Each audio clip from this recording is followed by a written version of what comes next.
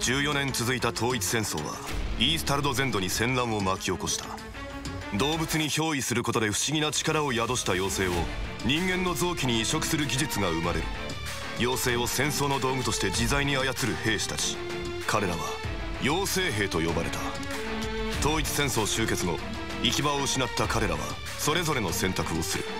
ある者は政府にある者はマフィアにある者は復讐のためテロリストに。それぞれの正義を求めて Break it down for every stand up. Make your move in a base to recommend our time. Live your life. Now is the time. Fight for your life. Cry just to hold that big これは無秩序な戦後に抗う妖精兵たちの物語フ.ェアリーゴーン